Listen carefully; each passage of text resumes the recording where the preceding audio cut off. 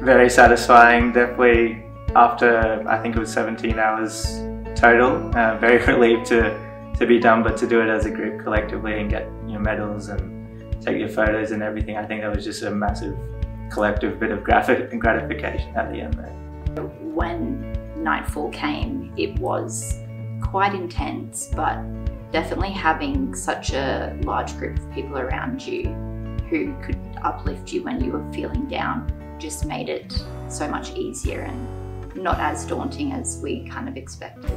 The Kokoda challenge was, I think, one of the hardest or if not the hardest physical challenge I've ever done uh, in my life. It was life changing and definitely very unforgettable. I love the fact that it was um, it was a team event so it wasn't about the competition of being the first to cross the finishing line.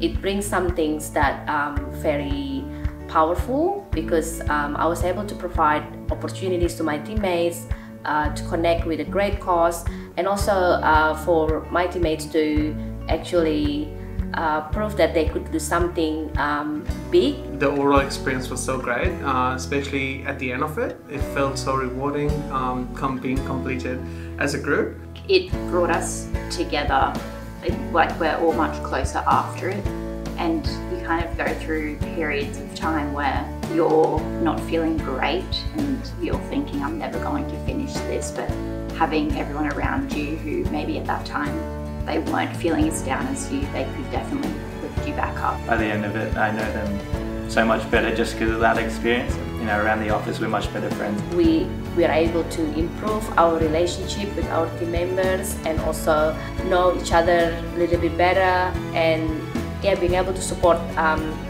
the day-to-day -day work as well. I didn't know them before Kokoda actually because I just started now we're such good friends. At the workplace, um, sometimes it can get competitive when it comes to performance. But Kokoda has taught us that we're actually um, working as one